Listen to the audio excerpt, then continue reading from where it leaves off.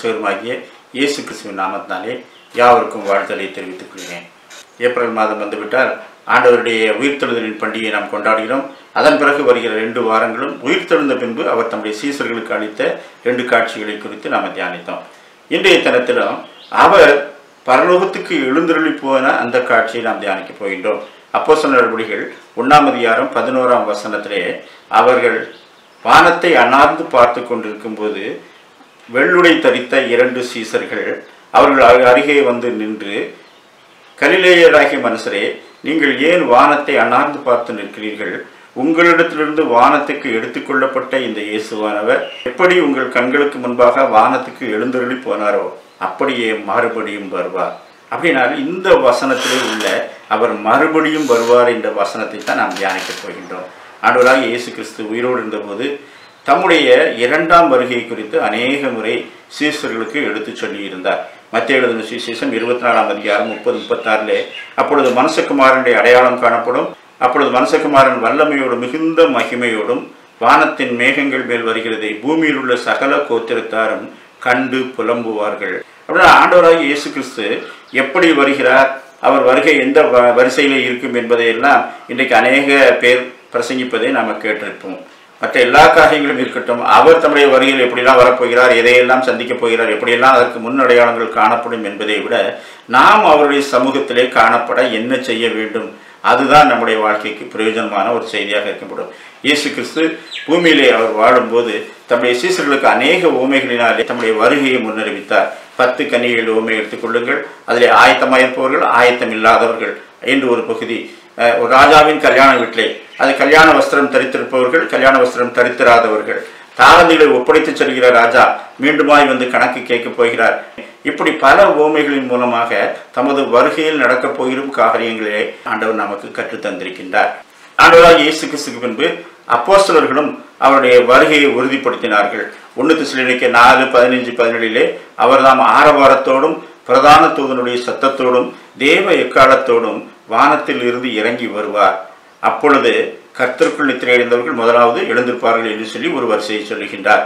ரெண்டு பேர் ஒன்று பதினாறிலே நாங்கள் தந்திரமான கட்டுக்கதைகளை பின்பற்றினவர்களாக அல்ல அவருடைய மகத்துவத்தை கண்ணார கண்டவர்களாகவே நம்முடைய கத்தராகி இயேசு கிறிஸ்தின் வல்லமையையும் வருகையையும் முன்னறிவித்தோம். அப்போ முக்கியமான செய்தி என்ன அப்படின்னு சொன்னால் மனந்திருமங்கள் பரலோகராஜ்யம் என்று துவங்கி அவருடைய வருகை சமீபமாயிருக்கிறது என்று சொல்லி அவருடைய வருகையை குறித்து அவர்கள் தெளிவாய் சொன்னார்கள்.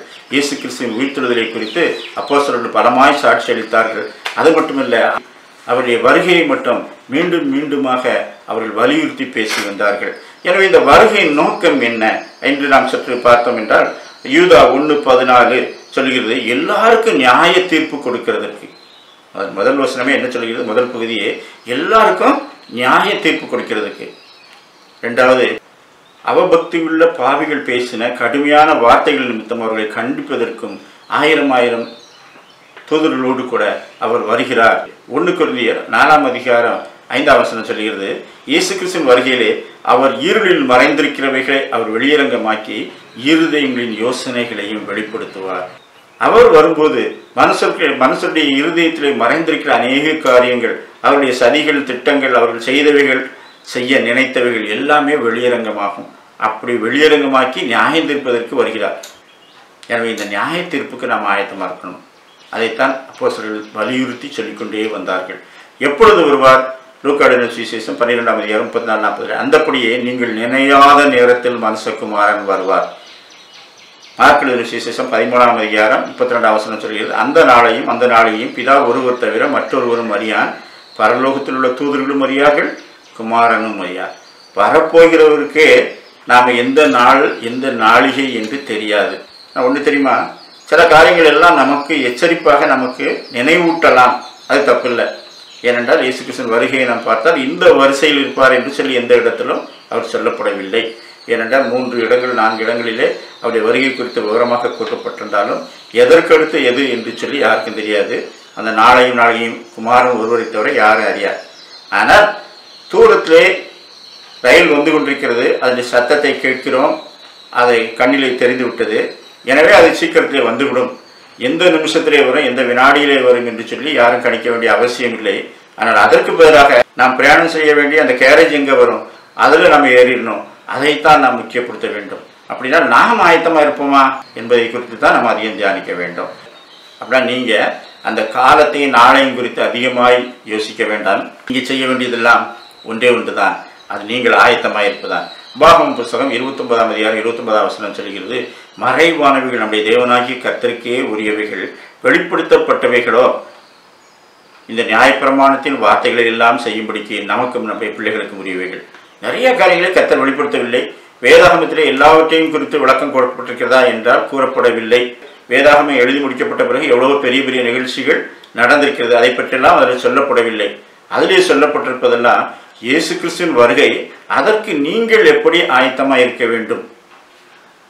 திருடன் இன்ன நேரத்தில் வருவான் என்று வே- தெரியாது. எனவே எப்பொழுதும் அவன் காவல் காத்து கொண்டே இருப்பான். அவனமாகவே இயேசு கிறிஸ்துவின் வருகையும் இந்த வினாடி இருக்கும் என்று தெரியாதனால நீங்கள் எப்பொழுதும் ஆயத்தமாக இருக்கணும். முதலாவதாக பிலிப்பியர்கள் நிருபம் மூணாம் அதிகாரம் இருபதாம் வசனம் சொல்கிறது நம்முடைய குடியிருப்போ பரலோகத்தில் இருக்கிறது. அங்கிருந்து கற்றாகி இயேசு என்னும் ரட்சகர் வர எதிர்பார்த்து காத்து கொண்டிருக்கின்றோம். நான் திரும்பவும் வந்து உங்களை என்னிடத்திலே சேர்த்து கொள்வேன் என்று சொல்லி ஆண்டவர் நமக்கு ஒரு வாக்குத்தத்தம் பண்ணியிருக்கிறார். யாருக்கு? உங்களை தம்முடைய சீசர்களை என்னிடத்திலே சேர்த்து கொள்வேன் என்று சொல்லியிருக்கிறார். அப்படியானால் அவர் வரும்போது முதலாவது நாம் அவரோடு செல்ல ஆயத்தமாக இருக்க வேண்டும். இதுதான் நம்முடைய குடியிருப்பு எங்கே இருக்குது பரலோகத்தில் இருக்கிறது. நாம் இங்கே பூமியில் வாழும்படிக்கு கர்த்தர் நமக்கு நல்ல காரியங்களை கொடுத்திருக்கிறார். நன்றி இருதய இதயத்தோடு அவைகளை அனுபவித்து அவருக்கு நன்றி செலுத்த வேண்டும். இதையெல்லாம் செலுத்திக்கொண்டு இன்னொரு இடத்துக்கு போக எப்பொழுதும் ஆயத்தமாக இருக்க வேண்டும். இதைத்தான் நமக்கு சொல்லப்பட்டிருக்கிறது. வேறு காரியங்கள் நிறையா இருக்கும் உலகத்தில். அவைகளில் மனதை செலுத்தாமல் அவரோடு செல்வதற்கு உங்களுடைய குடியிருப்பான பரலோகத்தில் உள்ள குடியிருப்பிலே நீங்கள் போய் சேர்வதற்கு ஆயத்தமாயிருங்கள் இருங்கள். லூக்காடு விசேஷம் பன்னிரெண்டாம் அதிகாரம் முப்பத்தாறு நாற்பது. உங்கள் பொக்கிஷம் எங்கே இருக்கிறதோ அங்கே இரு உங்கள் இருதயமும் இருக்கும். அப்படின்னா உங்கள் இருதயம்லாம் எங்கே இருக்கணும்? உங்கள் பொக்கிஷம் எங்கே வச்சுருக்கீங்களோ? நிறைய பேருக்கு பூமியில் தான் பொக்கிஷம் இருக்கும். ஒரு பெரிய பணக்காரரை பார்த்து ஐயா உங்களுக்கு எல்லா தேசத்திலும் சொத்துக்கள் இருக்கிறது என்று சொல்லி கேள்விப்பட்டோம். ஆமாம் எல்லா இடத்துலையும் எனக்கு சொத்துக்கள் இருக்கிறது ஹோட்டல்கள் இருக்கிறது தங்குமிடம் இருக்கிறது ரெசா ரெசார்ட்டுகள் இருக்கிறது எல்லாம் இருக்கிறது. எல்லா தேசங்களிலும் இருக்கிறது. ஐயா உங்களுக்கு பரலோகத்தில் என்ன வைத்திருக்கிறீர்கள்? என்று சொல்லி ஊழியக்காரர் ஒருத்தர் கேட்டார். அவர் யோசித்து பார்த்துட்டு பரலோகத்தில் எனக்கு ஒன்றும் இருக்காதியா? அப்படின்னு சொன்னார். ஐயா இவ்வளவு சிரமப்பட்டு உலகத்தில் எவ்வளோ சொத்துக்களை உண்டாக்கி விட்டு பரலோகத்தில் உங்களுக்கு ஒன்றுமே இல்லை என்றால் எல்லாமே இங்கே நீங்கள் விட்டு போகக்கூடிய காரியங்கள் அத்தனையாக இருக்குது இவைகள் எல்லாம் நீங்கள் உண்டாக்கின எல்லாம் எனக்கு இருக்கிறதுன்னு சொல்வதற்கு என்ன? என்ன பெருமைப்பட என்ன இருக்கிறது? இவைகளெல்லாம் விட்டு போக வேண்டியிருக்குமே. ஆனால் உங்களுடைய குடியிருப்பு பரலோகத்தில் அல்லவா இருக்கிறது? அங்கே என்ன இருக்கிறது என்று யோசித்து பாருங்கள் என்று சொன்னபோது அவர் யோசித்து பார்த்தாராம் அங்கு எனக்கு பொக்கிஷங்களை உண்டாக்க வேண்டும். அப்படின்னா அநீதியான இந்த உலக பொக்கிஷங்களாலே பரலோகத்தில் உங்களுக்கு பொக்கிஷங்களை சேர்த்து வையுங்கள். அப்பொழுது இங்கே அவமாய் போகிற இந்த பணத்தை ஆண்டவருக்கு செயலாற்றி அதன் மூலமாக பரலோகத்தில் பொக்கிஷங்களை சேர்த்து வைங்க நல்ல ஊழியங்களின் மூலமாக ஆண்டவர் கொடுப்பதன் மூலமாக கிரியை செய்வதன் மூலமாக ஆண்டவருக்கேற்ற கிரியில் செய்வதன் மூலமாக பரலோகத்திலே நாம் பொக்கிஷங்களை சேர்த்து வைக்க வேண்டும். லூக்கடலின் சுவிசேஷம் இருபத்தொன்று முப்பத்தி நாலிலே உங்கள் இருதயம் பெருந்திண்டியினாலும் வெறியினாலும் லௌகீக குறையினாலும் பாரமடையாத பிடிக்கும் நீங்கள் நினையாத நேரத்தில் அந்த நாள் வராத பிடிக்கும் எச்சரிக்கையாயிருங்கள். பூமியில் குடியிருக்கிற மனுஷர்கள் எல்லார் மேலும் அது ஒரு கண்ணியை போல வரும். கண்ணியை போல வரும்னா ஒரு மீன் கண்ணிலே மாட்டிக்கொள்ளும் என்பதாக அதுக்கு தெரியாது. அது சுதந்திரமாக தெரிந்து கொண்டிருப்பது திடீரென்று ஒரு வினாடியிலே கண்ணியிலே மாட்டிக்கொள்கிறது. இதே போல் தான் மனம் போக்கிலே வாழ்ந்து கொண்டிருக்கிற மக்கள் இயேசு கிறிஸ்து திடீரென்று அவர் வந்து நிற்கும்போது ஒரு கண்ணி பிடித்துக் கொண்டது போல அவர்களை பிடித்துக் கொள்ளும். ஆனால் நீங்கள் இப்படியெல்லாம் கண்ணிலே அகப்படாதபடிக்கு மனுஷகுமாரனுக்கு முன்பாக நிற்க பாத்திரவான்களாய் எப்பொழுதும் ஜெபம் பண்ணி விழித்திருங்கள் ஆனால் விழிப்புடன் இருக்க வேண்டும். ஜெபம் பண்ணுவதிலே நாம் அசதியாயிராமல் ஜாக்கிரதையாக இருந்து விழித்திருந்து ஜெபம் பண்ண வேண்டும். இன்றைக்கி ஜெப கூட்டங்கள் நடந்தால் ஒருவேளை உபவாச கூட்டங்கள் நடந்தால் நிறைய பேர் வரமாட்டாங்க. அவங்களுக்கு நிறைய வேலை இருக்குது வேலையே இல்லாமல் வீட்டில் இருந்தாலும் வரமாட்டாங்க. அதான் அந்த பெண்கள் மற்ற வயோதிகர்கள் அவர்கள்லாம் செல்வாங்க என்று சொல்லியிருப்பாங்க. ஆனால் ஆண்டவர் சொல்கிறாரு ஜெபத்துக்கு முக்கியத்துவம் கொடுங்க ஜெபம் பண்ணுங்க. ரெண்டாவது ஆண்டு வரும்போது எப்படி ஆயத்தமாக இருக்க வேண்டும்? ரட்சிப்பின் வஸ்திரம் தரித்தவர்களாய் அவரோடு செல்ல ஆயத்தமாக இருக்க வேண்டும். என்னால் அந்த கல்யாண வஸ்திரம் தரித்திராத ஒருவன் அழுகையும் பற்கடிப்பும் உள்ள இடத்திலே போடப்பட்டான். அதே போல ஆண்டவருக்கு ஏற்ற அந்த லட்சுமியின் வஸ்திரத்தை தரிக்காதவர்கள் அவர்கள் கையும் காலும் கட்டி அழுகையும் பற்கடிப்பும் உள்ள ஒரு இடத்திலே போடப்படுவார்கள். அதைத்தான் அந்த ஓமையின் மூலமாக அவர் நமக்கு மீண்டுமாய் நினைவுபடுத்தி சொல்கிறார். இன்னும் முதலாவது என்ன செய்ய வேண்டும்? இந்த ரட்சிப்பின் வஸ்திரத்தை தரித்து கொண்டவர்களாக ஆயத்தமாக இருக்க வேண்டும். ஆனால் ரட்சிப்பின் வஸ்திரம் என்பது வேறொன்றும் இல்லை. எப்பொழுது தேவனுடைய வெளிச்சத்திலே நம்மை பார்த்து பாவ அறிக்கை செய்து பாவங்களை ரட்சிக்கிற அவரையே விசுவாசித்து அவருடைய பாவ மன்னிப்பை பெற்றுக்கொள்ளும்படிக்கு துக்கத்தோடு அறிக்கை செய்யும்போது இயேசு பாவத்தை மன்னித்தார் என்ற ஒரு சந்தோஷம் பரலோகத்திலிருந்து நமக்கு கிடைக்கிறதா? இதை பெற்றுக்கொண்ட அந்த வினாடி நாம் ரட்சிப்பின் வஸ்திரத்தை தரித்து கொண்டவர்கள்.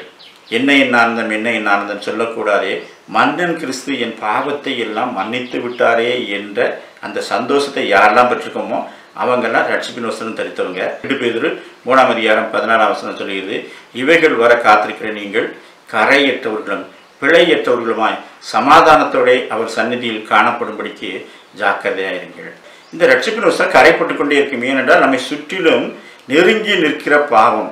நம்மை சுற்றி கரைப்படுத்துகிற அநேக காரியங்கள் இருக்கிறது. காலையிலே சட்டை போட்டால் நாம் எங்கேயும் புரண்டு அதை அழுக்காக்குவதில்லை. ஆனாலும் சாயந்தரத்தை அது அழுக்காகிவிடும். எப்படி? நீங்கள் அழுக்காக்கவில்லை. ஆனால் உங்களை சுற்றி அழுக்கு இருந்து கொண்டே இருக்கிறது.